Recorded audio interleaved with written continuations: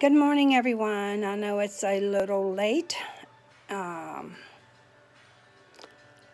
I should have done this yesterday, but I will be going live at uh, 1 p.m. Eastern Standard Time with a uh, clearance sale.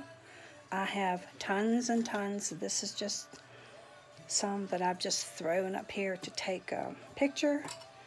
So come join me at 1 p.m. Eastern Standard Time, and we'll have a good time, and we will just have a ball and chat and get rid of some jewelry at some good prices.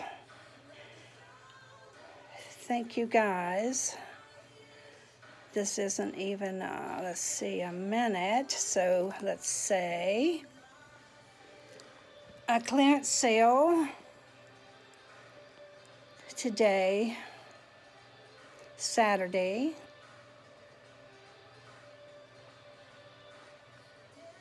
And um, y'all join me 1 p.m. Eastern Standard Time.